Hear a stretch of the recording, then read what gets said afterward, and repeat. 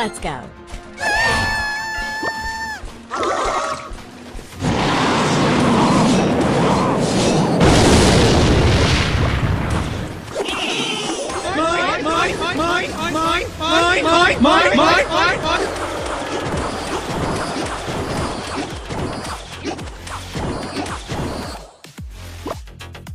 Two thousand years later.